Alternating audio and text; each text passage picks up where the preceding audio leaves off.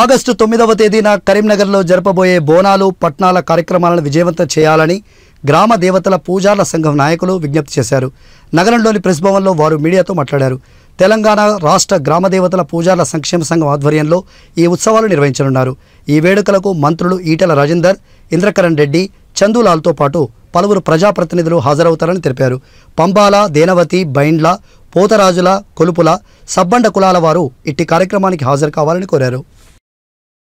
మా చెట్ల బైండ్లని మా మాదిగ బైండ్లని పూర్వులతో పిలుస్తున్నారు కానీ వాస్తవం ఈ బైండ్ల పంబాల దేవతి కులం అనేది దళిత మాల కులానికి చెందిన వారం.